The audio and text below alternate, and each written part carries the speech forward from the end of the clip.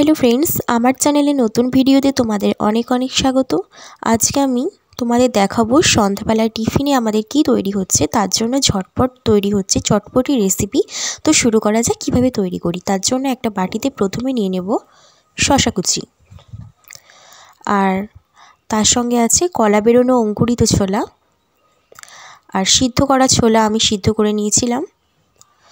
আর ভিজে রাখা মটর, আমি এটা আগে থেকে ভিজে রেখেছিলাম, তাই ভিজিয়ে রাখা কাঁচা মটর আর গাজর কুচি।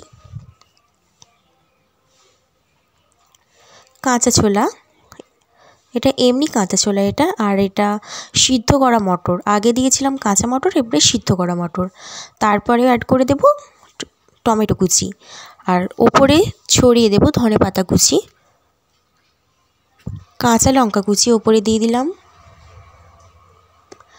আর দেখতে সুন্দর লাগার জন্য আমি কতগুলো গোটা লঙ্কা দিয়ে দিয়েছি।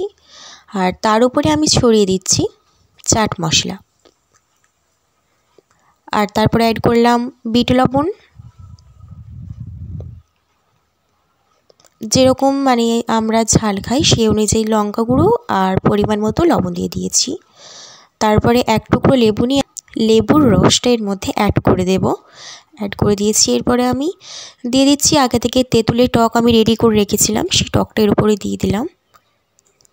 সব কিছু উপকরণ মিশিয়ে দেওয়া হয়ে যাবার পর আমি এটাকে ভালোভাবে মাখিয়ে নিচ্ছি।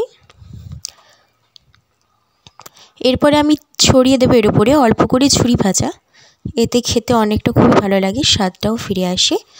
সব উপকরণ অ্যাড করে দেওয়া হয়ে গেছে, আমি ভালোভাবে মাখিয়ে নিয়ে আর সন্ধ্যাবেলা খাওয়ার জন্য একটা বাটিতে তুলে নিয়েছি। আমার হাতের গোড়ায় যে উপকরণগুলো ছিল, সেগুলো দিয়ে আমি তৈরি করে নিয়েছি আজকের সন্ধ্যার চটজলদি চটপটি রেসিপি তো তোমরা দেখো, এটা আমাদের সন্ধ্যাবেলা খাওয়া হবে। আমার তৈরি চটপটি ভিডিও কীরকম লাগল অবশ্যই জানিও। সবাইকে ধন্যবাদ।